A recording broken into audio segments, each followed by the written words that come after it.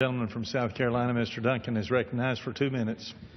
Thank you, Mr. Chairman, and uh, I thank the gentleman from South Carolina for yielding time. You know, as a Christian, I have compassion for the and sympathy for the refugees in Syria. In fact, I visited with many of them in a refugee camp in Jordan, a camp that held about 120,000 Syrian refugees.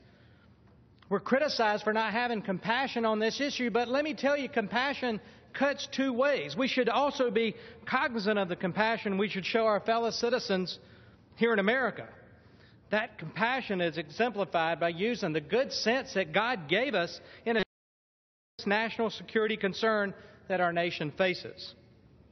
Our compassion should be too to make sure to the best of our abilities, and I think that's what this legislation does, is it says we're going to use the best of our abilities that no harm comes to our fellow countrymen. We should do everything we can to make sure that elements of evil are not introduced due to our compassionate hearts into the neighborhoods, the towns, the cities, and the states that we represent in this great nation. We lock our doors not because we hate the people on the outside. We lock our doors because we love the people on the inside.